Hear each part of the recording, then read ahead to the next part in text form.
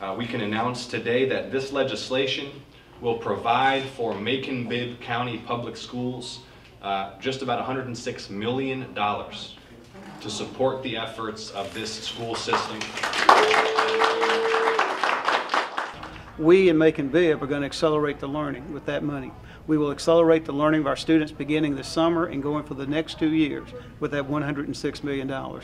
The way we kind of see that working is a large part of it will go directly to schools. So schools will be able to write something that looks like a proposal for this is what I need to do for my 500 students.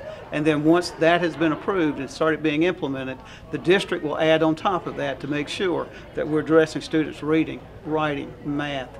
We'll make sure that we're addressing their social emotional learning as well.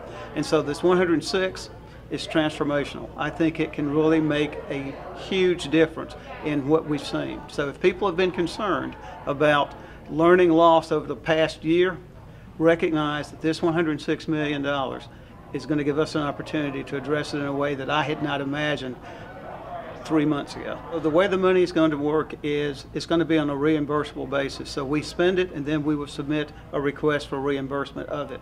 And so we're now making plans to begin that process. As you may know, we already received some CARES 1 and CARES 2 monies that we're currently spending.